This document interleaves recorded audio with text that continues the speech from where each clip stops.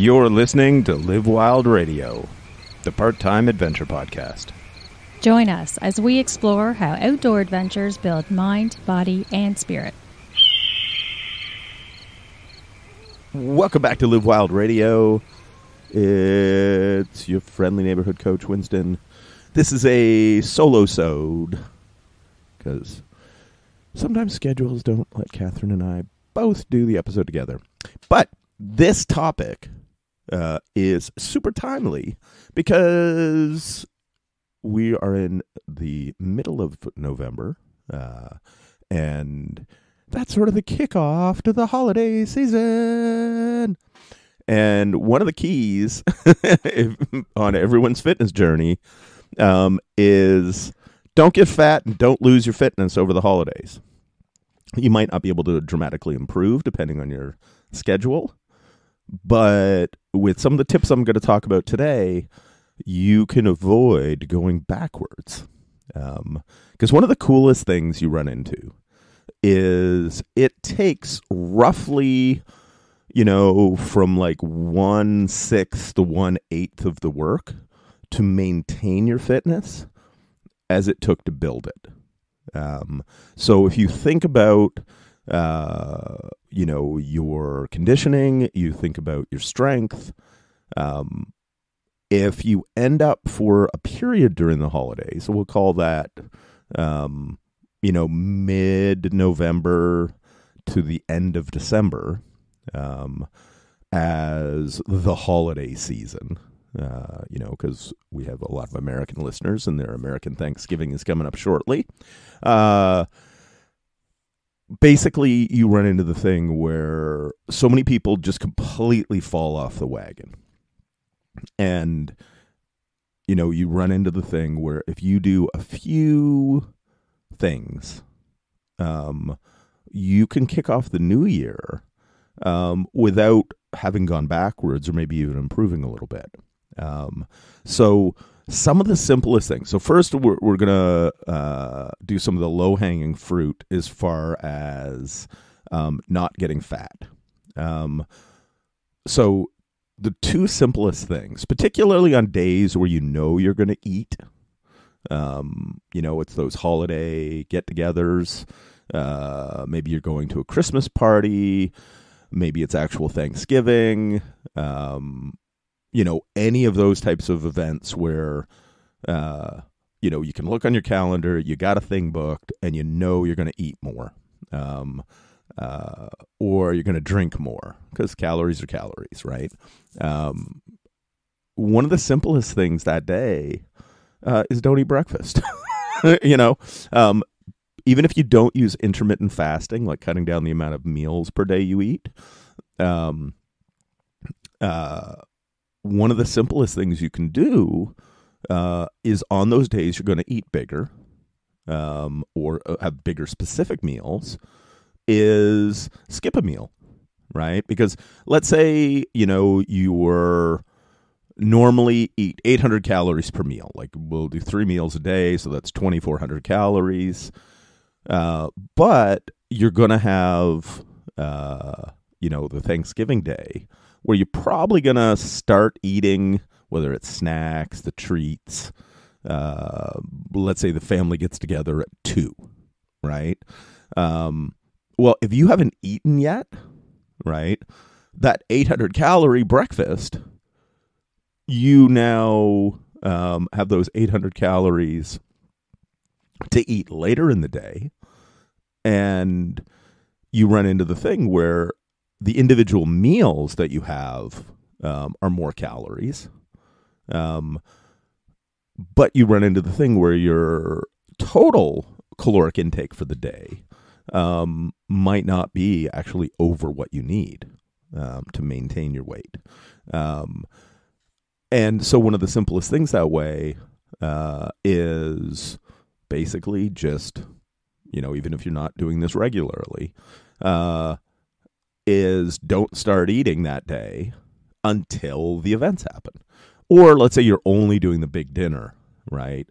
Um, then basically think about uh, don't eat breakfast, a small lunch like some salad and protein, Um, and this is where my favorite thing comes in. It's bag salads from Costco. and then I had like basically if you want to be um, fit and you want to either lose body fat or maintain your weight uh, without getting fatter, uh, one of the simplest uh, lunches I've run into is we get the Costco rotisserie chickens um, and Costco bag salads.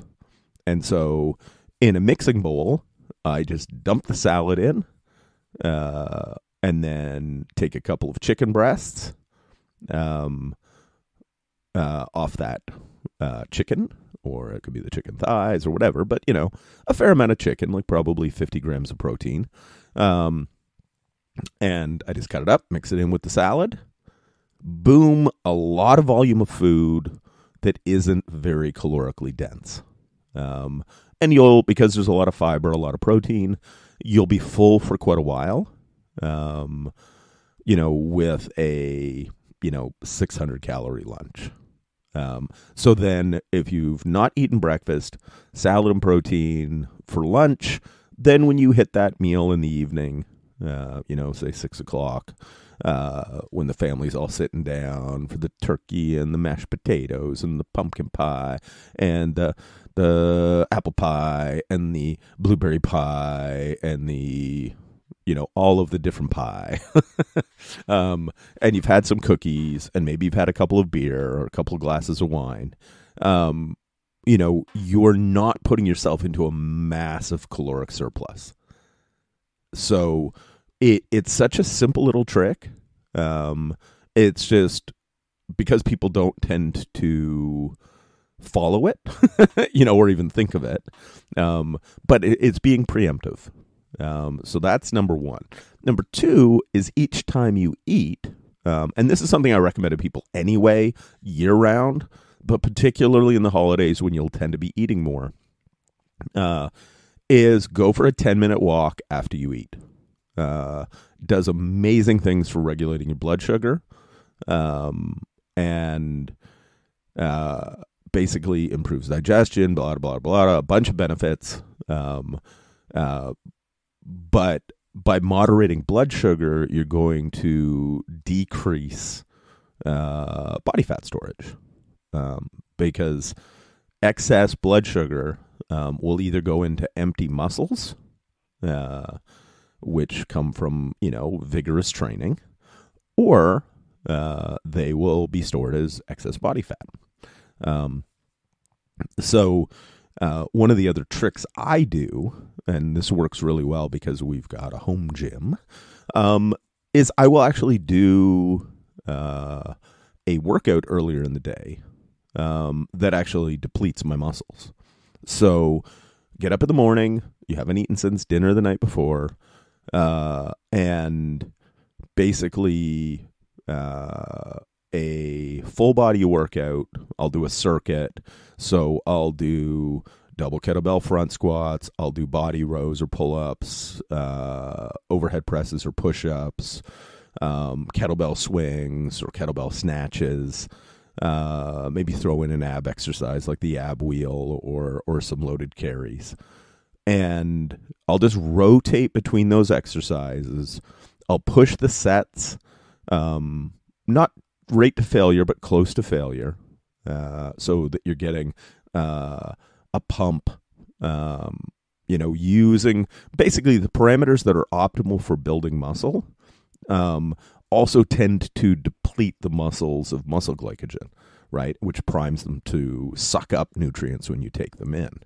Um, so basically, uh, very similar to the workout I did this morning. Um, I will do about five sets of each movement, um, but I'll do it as a circuit. So rather than do five sets of one exercise and go to the next, with relatively shorter rest periods. So instead of like three minute rest between sets, I'll take a minute between sets, but I'll alternate an upper body and a lower body, upper body, lower body. Um, and each of those sets, um, I'll push it till those last few reps are really hard.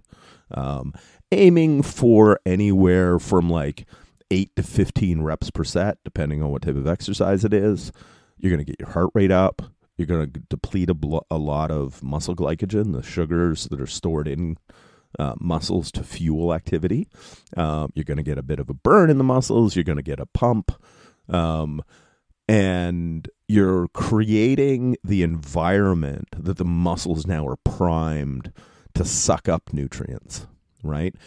If you are eating a lot when you're fully fresh, you're fully recovered, the muscles are full, uh, you know, then you're much more likely to store any excess calories, uh, particularly carbohydrate, as body fat.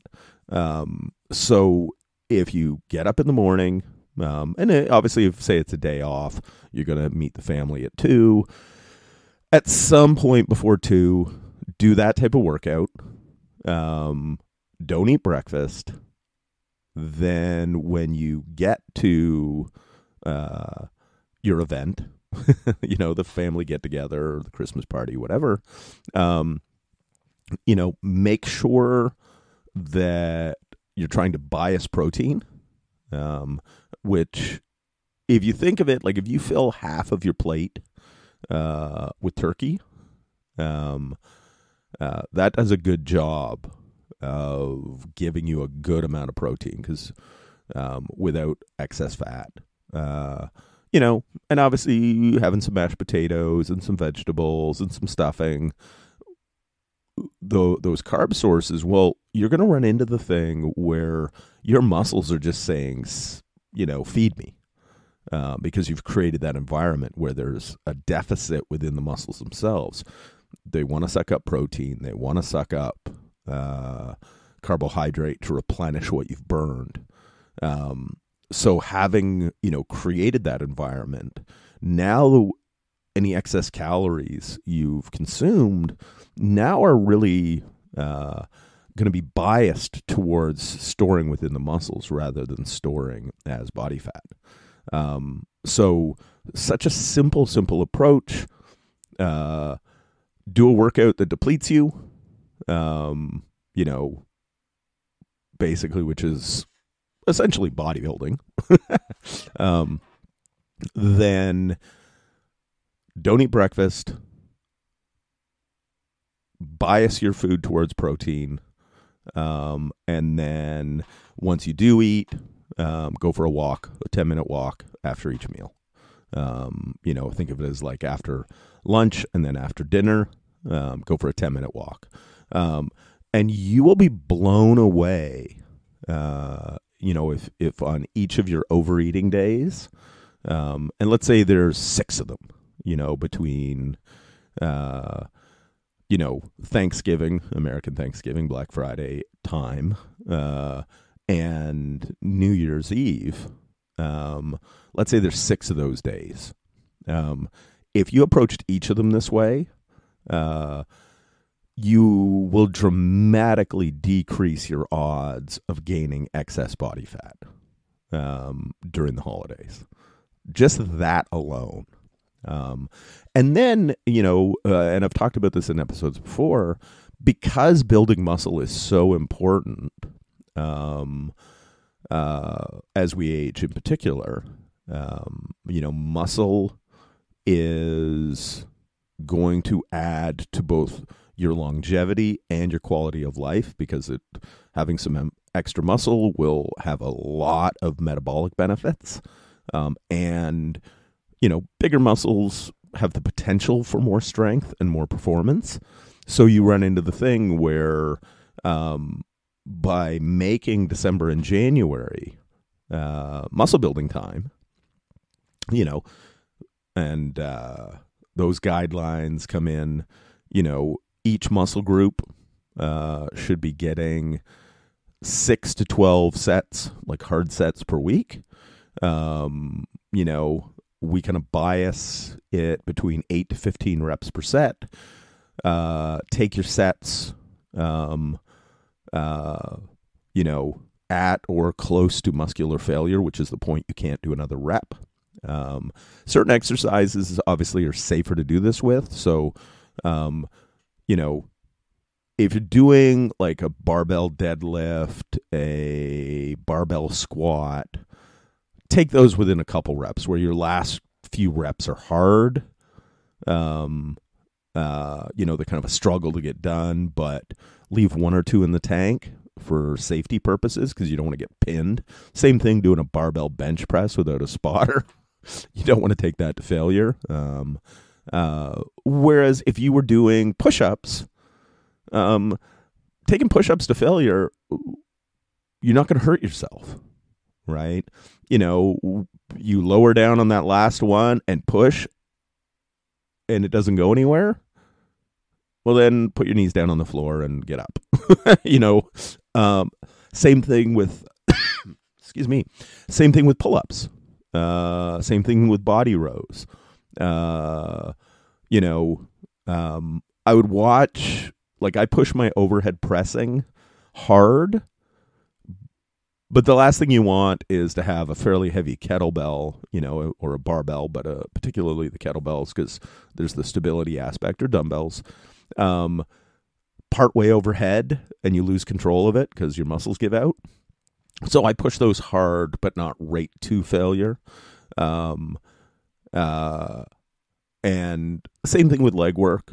Um, one of the things I'll do is like double kettlebell front squats um, to the point where I can barely keep the weight up, but your legs aren't going to give out yet.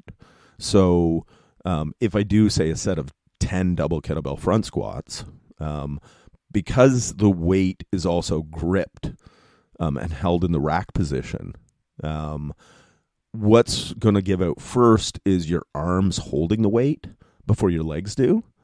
So then I'll do the thing of, uh, you know, do a set and then, you know, put the weight down. Um, before I'm dropping them, um, before the arms give out, you know, one or two reps before the arms give out. Like you can always feel that. Um, and the same would go with a goblet squat. Um, goblet squat's a little easier to hold because you've got both hands on one kettlebell and it's usually less weight. Uh, and then I will immediately go into alternating rear stepping lunges uh, with no weight um, just to burn out the legs. Um, and same kind of thing goes with, uh, say, kettlebell swings. Um, they're not one you want to take to failure. Um, so the way that I'll increase is like I'll do a set of, excuse me, uh, 10 or 15 swings, put the weight down, and then grab a pair of kettlebells and then do a set of like uh, you know 10 to 15 Romanian deadlifts, which are the same movement pattern, but it's slow and controlled. Um, so you've fired up the muscles with an explosive movement, and then you kind of burn them out. Uh, you know, add further metabolic stress on the muscles with a slower movement, a slower controlled movement. Um, anytime you pause in the stretched position, um, and that's where things like eh, the Romanian deadlift, uh, the bottom is the stretched position. So if you pause there, um, you can make a lighter weight seem a lot heavier because you pause, you're not getting any bounce, and then you squeeze back up. And when I say pause, it's like, you know, a full one Mississippi. Um, same thing, the bottom of a squat, pause, the bottom of a push up, pause, um, uh, a pull up, um, pause at the bottom, like full extension, you know, so there's no momentum. Um, and one of the things that that uh, the research has shown um, is that increasing the tension in the stretched position um, will uh, promote more muscle growth.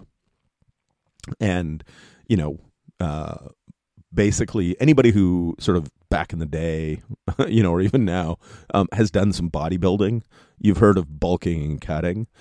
Well, obviously, if during the holiday season you're naturally going to consume more calories, um, a caloric surplus, uh, well, that's what you would do during a bulk, right? Eat a little bit more calories and train to build muscle. So if you're naturally going to do it anyway, we're going to bias our training towards muscle building because you're having like an inadvertent bulk. you weren't doing it on purpose, but because we know people eat more during the holidays. Um, you know, if you are creating the stimulus that is going to build muscle, um, you can definitely optimize it so you're not gaining uh, a ton of body fat from those excess calories. So, uh, hopefully, you know, you sort of wrap your head around those key little points. You know, make use of intermittent fasting, and you can do that all season, like all uh, holiday season. It doesn't just have to be on your big eating days, and you could even come out of the holidays having lost a little bit of body fat. Um, uh, and then one of the other ones is try to get more walking in. Um, you know, walking is so underrated. Like, get a set of trekking poles like we would use hiking. And if you can get past the fact that you look a little funny in your neighborhood, um, uh, you know, and I guess I run into the thing I have no issue with it because like I'll go drag a goddamn tire around my neighborhood, um, put my harness on, and I'm dragging a car tire behind me. So I'm not really concerned with what my neighbors think. Um, uh, you know, uh, and quite honestly, the times that people have asked me, you know, um, when I'm out dragging the tire, they're like, "Oh, like are are you training for something?" you know, like they're not like, "Oh, you're so weird." You know, even if they did, I wouldn't care. But but you know, I'll get people asking questions about it, um, and when I explain explain all the benefits of tire dragging, and it's like it's really cheap because you get the tire for free, and it takes very little hardware to drag a tire. Um, they're like, "Oh, maybe I should drag a tire. You know, a lot of people don't do it, but uh, you know, they actually see the benefit um, of training. You know, and, and they're being exposed to something maybe they, they weren't quite aware of. Because it basically, tire dragging is just walking on steroids. Um, so, uh, you know, adding the trekking poles, you tend to walk a little quicker uh, which naturally will drive your heart rate up a bit more, so you get a better cardio benefit out of it. Um, and uh, you'll run into the thing where adding the upper body movement, the more muscles you use in an activity, the more cardiovascular um, demand there is. So, um, this is why uh, basically cross country skiing will have a higher heart rate than running will because one is using all four limbs um, with load. Uh, the other is just using the lower body. Um, so if you can add in some upper body, um, you can get a really good cardiovascular benefit from walking. Like just normal walking, even a fast, you know, um, I'm going to be late kind of pace. Uh, what I'll run into is is it'll elevate my heart rate, but not into the the training zone I want. Right? If you're brand new, you know, you're coming off the couch, you're coming out of the office, um, you know, training is new to you, then just walking alone for a sustained period of time, like 30 to 60 minutes a session, can elevate your heart rate enough to get a cardiovascular benefit. But you will run into the thing over time as you get fitter. Uh, you're not going to get as much uh, cardiovascular benefit, you know, or, or as high of a heart rate uh, as you would when you started because you're fitter. So you have to either go faster, add the upper body into it with the poles, add resistance like carrying a, a backpack or a weight vest. Um, just like lifting weights, at a certain point, the weight that was hard in the beginning becomes easy. Um, the same thing goes with your cardiovascular work. You either have to move faster um, uh, to get your heart rate up to the same level. Um, and, you know, for the average person, what we're looking at is like a heart rate of 120 to 140, you know, is sort of that sweet spot for sustained cardio work. Um, and one of the issues, uh, say with walking, um, unencumbered, so no pack, no poles, no tire, is at a certain point to get the heart rate up, then it's got to transition to jogging um, or running.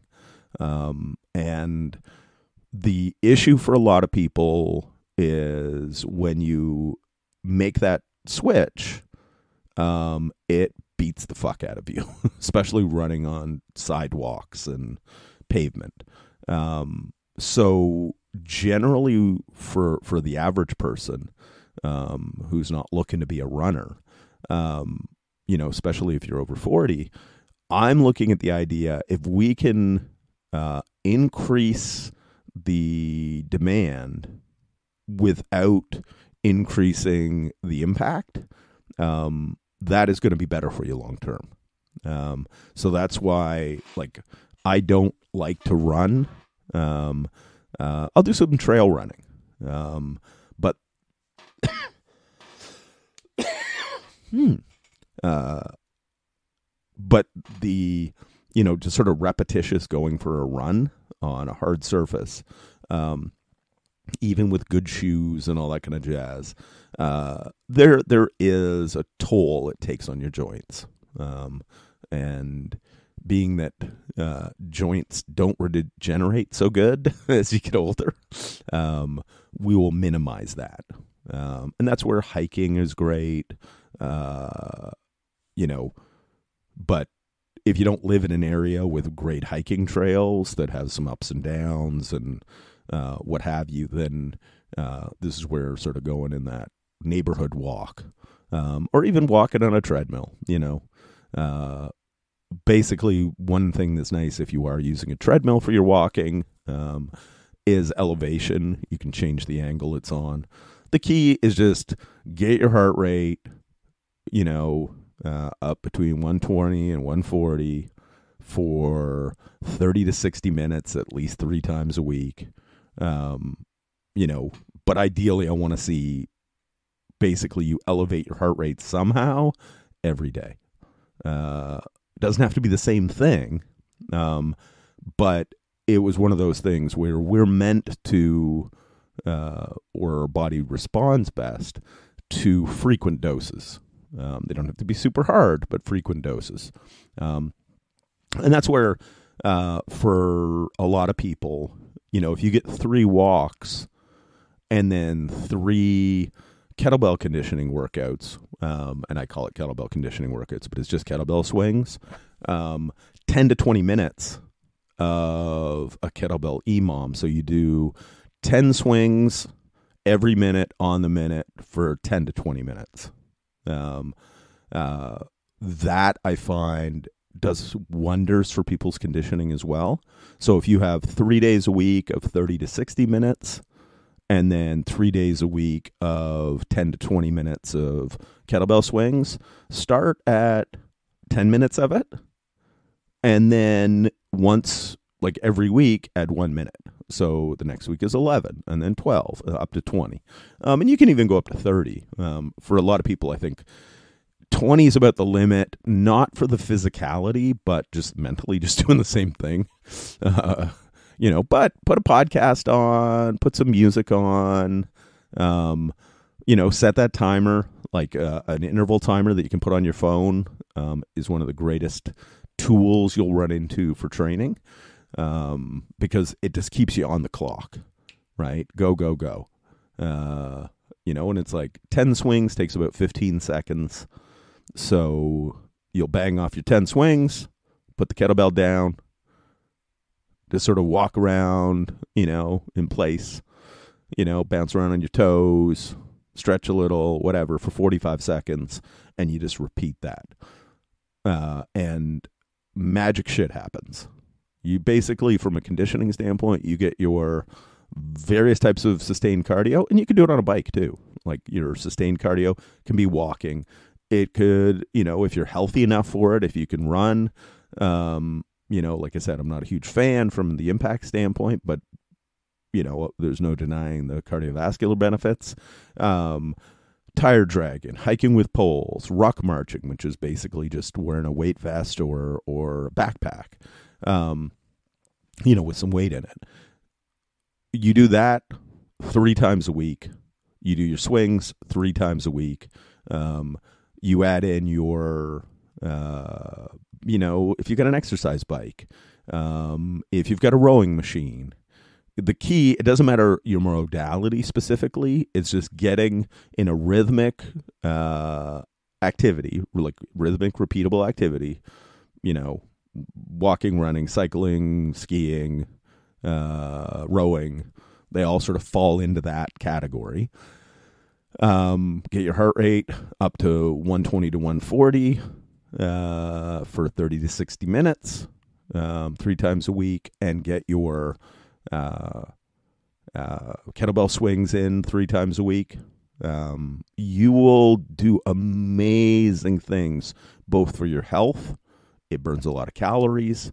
It's really effective for just having energy. Like you don't get out of breath going up the stairs. Um, you know, you run into the thing where you're just in better shape, right? And then your strength workouts, bias them for December and January towards those parameters for muscle building. Um, and it's fun. Um, quite honestly, like uh, maybe maybe it's just the you know I started lifting weights when I was twelve, doing workouts out of bodybuilding magazines because we didn't know any better back then. you know, it wasn't the best way to train for um, you know optimal athletic performance. Uh, you know, but it, I'll tell you, um, you know, doing like three to five sets of, you know, eight to, to 15 reps, you know, and there's nothing magic about just that rep range, but uh, it's not like it is the only way, the only reps that'll build muscle. But what I find is that when the reps are a lot higher, um, you're getting such a burn and that it's hard to know are you just tired or are you actually close to failure um, and then ones that are lower uh, you know because doing sets of five to eight will also build muscle. But you need so much heavier weight uh, you know for for sets in that range that you're much more likely uh, to get hurt because as you're getting fatigued, if you uh, you know bumble your form a little bit, you get out of the groove with a heavier load. That's where people get hurt. So, um, not that you can't build muscle at these other rep ranges, higher and lower, but that kind of eight to fifteen is kind of a nice sweet spot for it's enough to accumulate uh, um, a good amount of volume, um, a uh, area where you know um, it's easier to see how close you are to failure, to feel it. Um, you know, and we know we want to go within a few reps of failure to optimize muscle growth, uh, and then uh, you're using a lighter weight than you would for the lower rep ranges, um, which decrease your chance of injury right? So that's why that's kind of that sweet spot for muscle building. Um, yeah. So you basically just follow those simple, simple uh, guidelines, right? Um, over the next six weeks, and you're going to run into the thing where you are less likely to come out of you know the holiday season fatter because a lot of people you know um, are gaining weight every year. Uh, and a lot of that weight comes this time of year, right? Because the mood, uh, you know, uh, you're not as motivated. You're wearing lots of clothes. You're not going to the beach, you know, um, uh, you know, so you're covered up. So you're not as aware of your fluffiness. Um, but then you run into like it's dark all the time it's cold i just want to kind of hibernate um you know that all factors in uh and then it's just holidays right like these are man it's been a, a year whoo i'm going to enjoy myself right? And the key comes in is you know you're going to do it. So a little bit of strategy around it. Um, and, you know, and this is why, like, I'm such a proponent of people, even if you have a gym membership, have a bit of shit at home. Uh, you know, even if like one or two adjustable kettlebells, uh, shout out to Bells of Steel. Um, we don't have a promo code from them, but it's a product I highly recommend. Um, you know, they're a Canadian company, uh, but they do adjustable kettlebell. So if you had two of those, right, so that eventually when you work up to doing double kettlebell, um, you're able to do double kettlebell clean and press and double kettlebell front squats. Um, uh, but even just one, because they go from like 12 kilo to 32 kilo, and I think the way they come, it's like a half kilo increment. So like you could just one pound at a time, um, from 26 pounds up to 70 pounds. And with most of these movements, you get to the point where you're doing, you know, presses and snatches and swings and all of these with like a 32 kilo or 70 pound kettlebell you're strong enough. Um, you know, because it just comes in as like unless you're specifically a strength athlete, um, or you know, doing anything specifically to be uh, a uh, competitor. Um, most applications, most things we do in life, uh, that tool will get you strong enough um, to to look good, feel good, and live a very long, healthy life. Um, you know, because with anything, there is a point where enough's enough. Um, just most people aren't there yet. um, you know, usually when you get to the point where you can do sets of 10 of anything with the 70 pound kettlebell, um, any of the kettlebell movements, then let's just work on your conditioning some more. Let's work on your pull ups. Let's work on, you know, other stuff to work on. Don't get me wrong. It's not like there's ever this, you know, good enough, like you're uh, never done working. But being able to go up to a 34 kilo or 36 kilo, uh, you know, if you want to do it, go nuts. But, but if the goal is feeling good, looking good, longevity, um, you know, becoming strongman strong, um, uh, there's no real benefit to it, and and the uh, type of work you have to do to become that much stronger also increases your risk of injury. Um, you know, so we're always playing a balancing act with all of these things. So yeah, uh, put these things into effect over the next six weeks, uh, and just put them into effect. Period.